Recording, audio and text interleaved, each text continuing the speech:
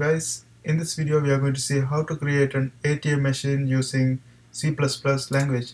Now first of all, uh, to create that one, let's create some variables like we can create double or float because we want the decimal to right? So we can create double or float it doesn't matter. I am going to put double here. Double and let's create three variables like uh, three doubles that is balance balance and withdraw and deposit. Semicolon. After that we have to initialize the balance. So to initialize the balance we can put a zero. So that's going to initialize the balance. After that semicolon. And then integer input. So here they can put whatever they want. Input okay after the semicolon. And the next one is uh, we are going to put something that appear on the screen that is cout. So we are going to make choices. So if they made the first choice it will tell the, the to display the balance. To display to display balance they have to press 1 so to display the balance and put a new line. And that's it for this one. Now for second option we can give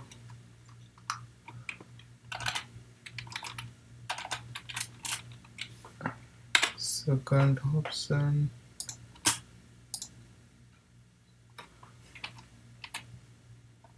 Okay so second option we can give to display I mean no to display we created already to deposit money into account plus 2 right? So 2 is to deposit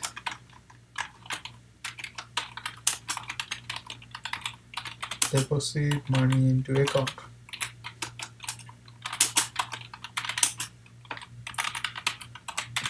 And put a new line and the third option we are going to create third option we can put a to withdraw more from the account. So to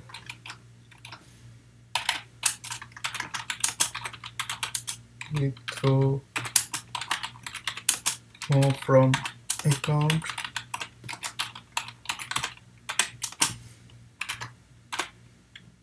new line. And the next one uh, we have to create something to exit. To, so to exit to this one we can put uh, let's uh, put something totally different like we can put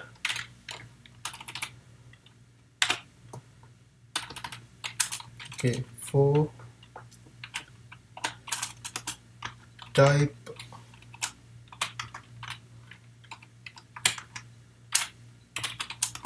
type uh, negative 69 to exit.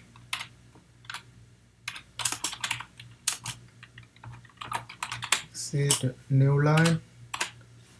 Okay now we have to give them uh, give them to choose. So we put enter choice. So they are going to choose one of them from these four. So here we put enter a choice enter a choice.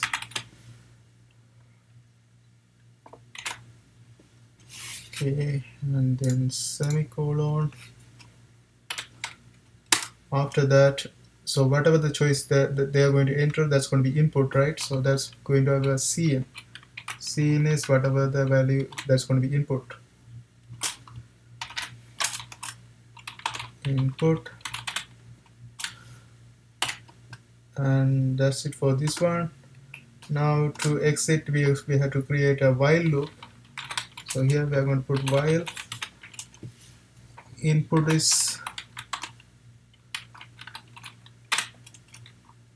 so input should be not equal to six, negative 69 right? So input should be not equal to negative 69 and then we can put okay switch.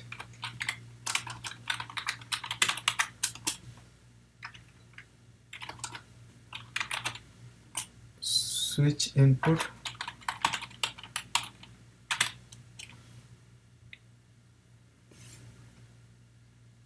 And uh, yeah switch input and a curly bracket. And then case 1 case 1 so what what happens in 1 one is they are going to play display like C out.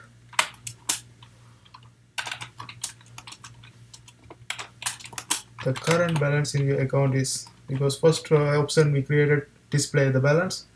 So the that's gonna after we enter the first uh, it's gonna give us the balance. So the current balance in your account is whatever the value we have. So that's gonna show us the balance. So we put balance end line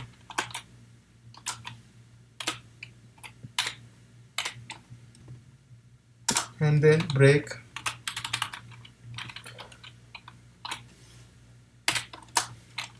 In case 2 we created a deposit money into account. So when we deposit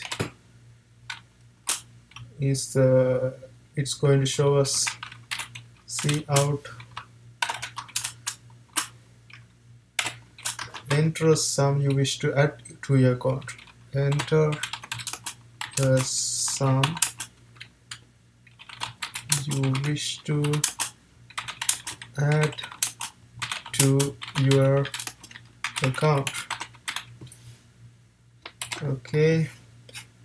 Now let's go to the third part. So break. Mm -hmm. so after they enter we have to create some. So input cin here we are going to deposit right? We are going to input deposit right here.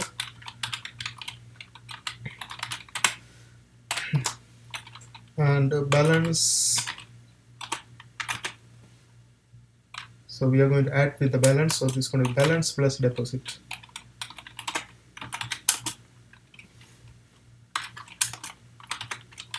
Deposit. And let's go to the next one next one cout.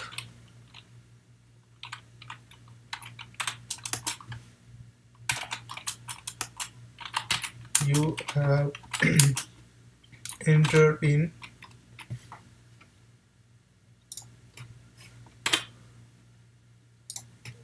You have entered in. Deposit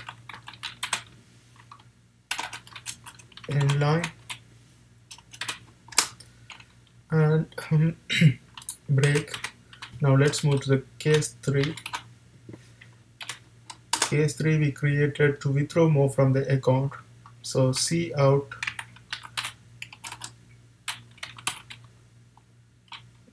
Let's put case 3 first. Case 3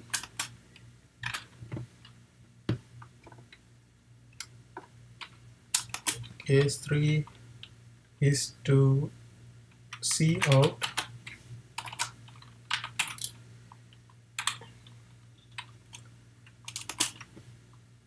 cout enter a sum you wish to withdraw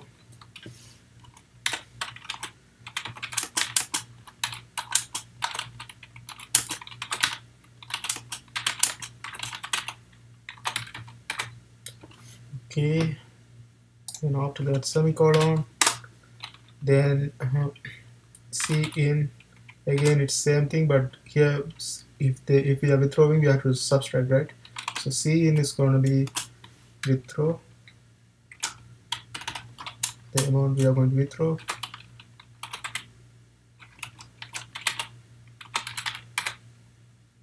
And uh,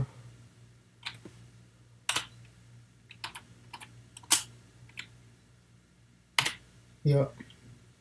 So amount we are going to withdraw and uh, again we have to create an equation that is balance.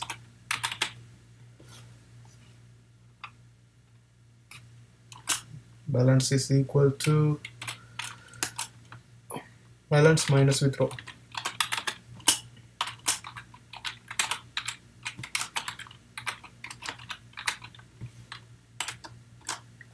and the next one is going to be cout after we withdraw.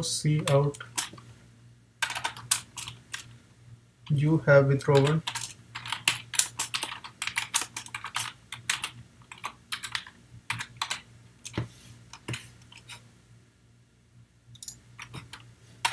withdraw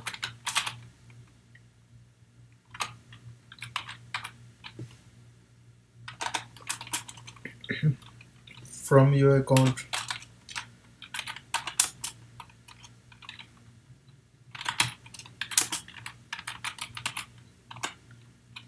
From your account and end line right.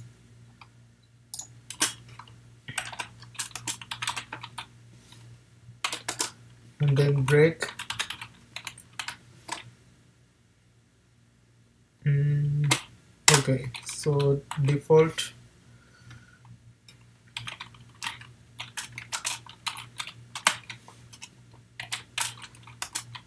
see out oh,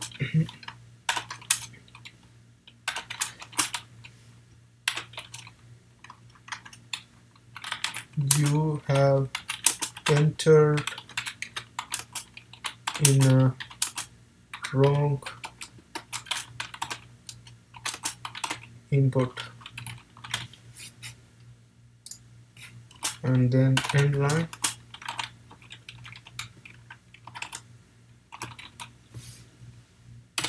okay after this we close the bracket close the curly bracket. And after the curly bracket we put cout.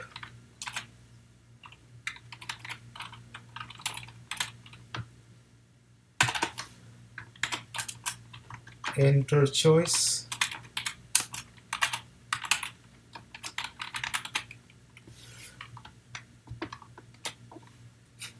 And semicolon after that cin.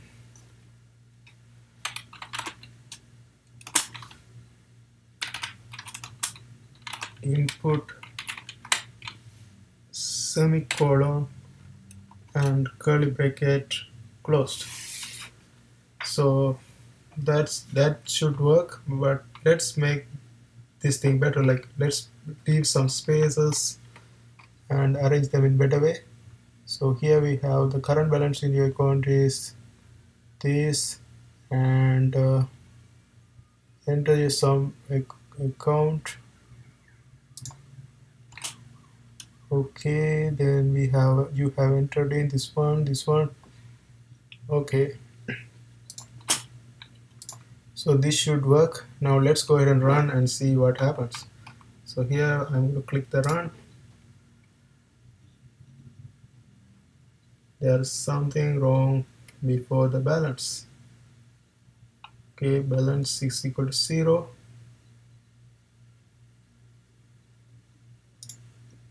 Oh this should be in right here. Okay now let's go. Okay now it's working.